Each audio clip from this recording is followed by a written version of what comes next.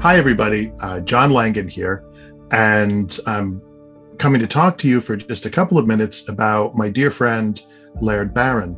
Uh, Patrick and Brennan have graciously agreed uh, actually to have invited me really uh, onto their their podcast just for a minute so I can talk to you about Laird. I know a lot of you are concerned about him and want to know what's going on and, and what you can do. Uh, Laird's been very sick, as as some of you know, for the last three months, and it finally got to the point that he went to the emergency room the other night. I went with him along with his his partner Jessica. He was admitted. Um, he's in a hospital room right now, getting excellent care, and he, is very sick. He has there are a lot of different things going on with him. Um, Laird's a very private guy, and so I don't feel at liberty to discuss all of them. Um, I can tell you that he's getting the the the conditions he's afflicted with are treatable, and he's getting treatment for them, and he's improving. But there are some things that immediately need to be taken care of, and then there are some things that are going to require longer term treatment. This is uh, it's a big deal, and thank God that he went to the emergency room and didn't let it go any any longer. The big wrinkle in all of this is that Laird doesn't have health insurance and supports himself purely through his writing. If you know the American health system, you know that not having insurance is really bad. Um, and it's one thing not to have insurance and to get somewhat sick when you're 20. Uh, it's another thing when you're no longer 20. Uh, none of us are as young as we as we used to be. So we're working um, to do a number of things. One is to help to defray the medical costs that, that Laird has already incurred. Also, to have an eye towards the medical costs that he's going to incur. Ultimately, we would like to get him set up with some kind of health insurance. Um, it would be great if moving ahead he was covered. Uh, and the, so the costs for the, the future treatments that he needs will be provided for. Um, a number of you have contacted me and said, "What can I do? I'd love to. I'd love to contribute money. What can I?" So Mike Davis um, and myself set up uh, a GoFundMe uh, for Laird. I say myself, but really Mike did all the work, uh, and uh, and he deserves full credit for that.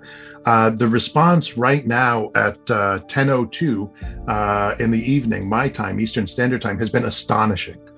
people have been amazingly generous, and people have given. There, there has been no donation too small. People have given five dollars. People have given a lot more than five dollars. But you know what? Every little penny counts because it's going towards helping out Laird and, and helping him in this situation. And not just the money, but the expressions of support that people have have put out there for Laird, the expressions of gratitude for his work, they're really heartwarming. He's still a little out of it at times, so it's difficult to, to read everything to him. Um, so I've just been, you know, when I go to visit him, I've been passing along, hey, this person says that, the, you know, um, and uh, and you know obviously he's he's quite moved by that. So you know i guess what i would say is is thank you so much for your support. Thank you so much for for your tremendous generosity uh, when it comes to the kickstarter. Uh, if you find it within your means and your inclination to, to continue to contribute to it, that's terrific. At the very least, if you could continue, if you could spread the word, continue to share news of the of the Kickstarter, that would be terrific. Um, we're going to get through Laird. Uh, we're we're going to get Laird through this. Uh, it's going to take some time. It's going to take some persistence. It's going to take some grit. Um, but Laird has persistence is great. He is the stubbornest person I know, which is part of the reason that we're here. But we're going to use that, we're going to turn that around and use that for good. And we're going to get him better. And he's going to continue. He has some really exciting projects, like sort of in process for the next year.